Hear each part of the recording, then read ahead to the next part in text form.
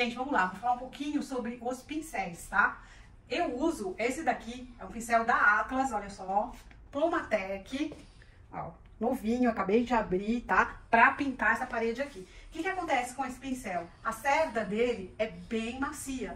Então, como ele é um pincel de boa qualidade, quando a gente vai fazer detalhe, ó, e eu vou ensinar todas as dicas de como segurar, de como fazer, a gente tem essa precisão com esse pincel. Óbvio que com detalhe menorzinho, a gente vai usar pincéis menores, tá? Que são destinados mais para pintura em tela, mas que no caso da parede a gente também vai usar, tá bom? Mas, mais importante, ó, pincel da Atlas, da linha Plumatec.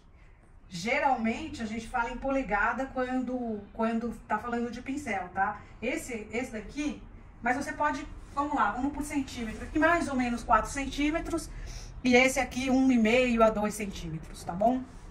Então, esse daqui vão ser assim as nossas ferramentas básicas para esse projeto aqui da parede do escritório. Bora lá, vamos fazer.